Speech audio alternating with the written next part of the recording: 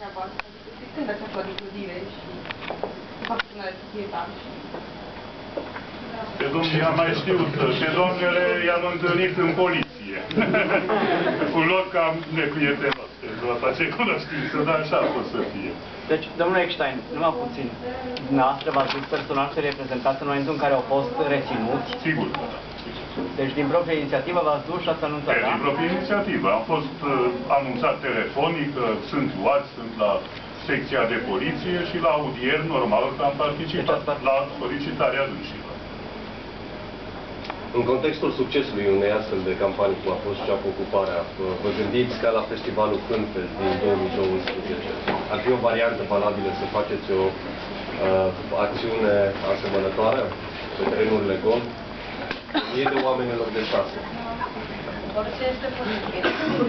Avem resurse nenumărate, suntem creativi. Este posibil. Și rămâne rămâne să vedem cum cum vom continua. Poate până la punctul ăsta, o să mai avem nevoie de... Sunt uh, ciomocai peranți de la Mure.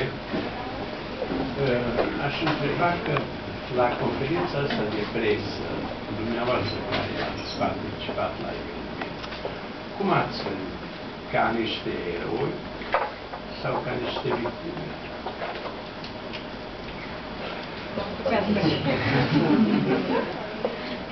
Adică, cred că uh, calitatea de eroi și- sau de victime nu putem să o stabilim noi singuri. Nu cred că ne stabilim noi.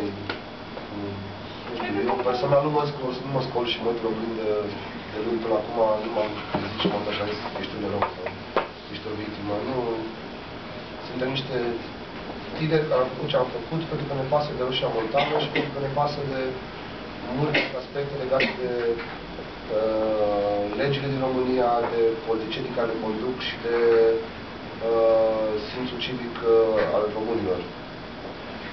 Nu, eu personal nu mă consider nici erou uh, și nici măcar victimă, deși am constatat uh, felul în care se comportă poliția română cu uh, cetățenii pe care trebuie să-i protejeze.